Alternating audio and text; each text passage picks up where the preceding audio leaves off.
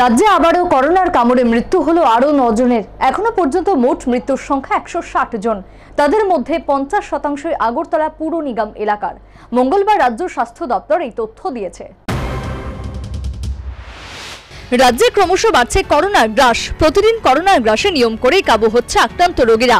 মঙ্গলবার করোনার কামড়ে মৃত্যু হয়েছে আরও জনের এখনও পর্যন্ত রাজ্যে মোট করোনার আক্রমণে মৃত্যু হয়েছে একশো ষাট জনের।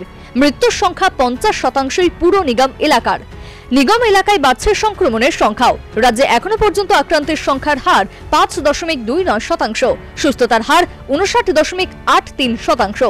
এদিন রাজ্যের বিভিন্ন জেলা ও মহকুমা থেকে মোট তিনশো এগারো জন করোনা আক্রান্ত রোগী সুস্থ হয়ে বাড়ি ফিরে গেছেন। রোজ করোনা সংক্রমণ ও মৃত্যু বৃদ্ধি পাওয়াতে আতঙ্কগ্রস্ত হয়ে উঠছে সাধারণ মানুষ। তবে করোনা থেকে রেহাই পেতে গেলে দৈহিক দূরত্ব সহ অন্যান্য বিধি নিষেধেরও মান্যতা দিতে হবে। অন্যথায় করোনা সংক্রমণের কদর্য রূপ আরও ভয়াবহভাবে ছড়িয়ে পড়বে। Bureau report, news Vanguard.